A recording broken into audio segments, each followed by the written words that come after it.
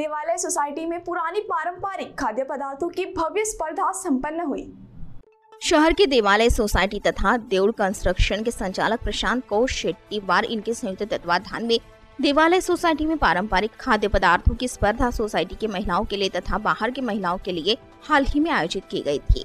उक्त स्पर्धा का परीक्षण कल्पना काड़े व मिली सदानंद वाघ ने किया।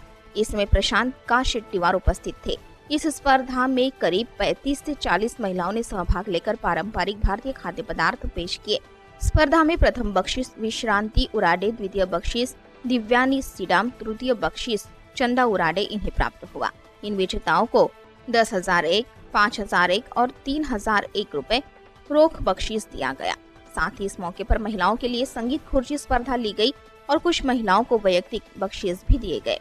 उक्त कार्यक्रम को सफल बनाने के लिए देवालय सोसाइटी के पुरुष व महिलाओं ने सहकार्य किया। सिटी केबल समाचार चंद्रपुर के लिए भद्रावती से प्रतिनिधि श्याम चटपल्लीवार की रिपोर्ट।